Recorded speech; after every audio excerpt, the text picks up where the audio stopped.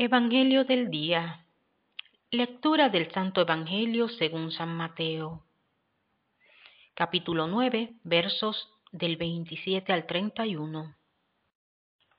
Damos inicio por la señal de la Santa Cruz de nuestros enemigos.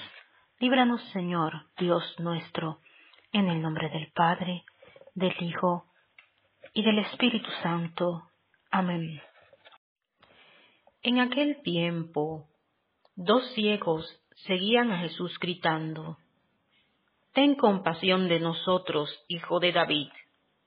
Al llegar a la casa, se le acercaron los ciegos, y Jesús les dijo, ¿Creéis que puedo hacerlo? Contestaron, Sí, Señor. Entonces les tocó los ojos diciendo, Que os suceda conforme a vuestra fe y se les abrieron los ojos. Jesús les ordenó severamente, cuidado con que lo sepa alguien. Pero ellos, al salir, hablaron de él por toda la comarca. Palabra de Dios, gloria a ti, Señor Jesús.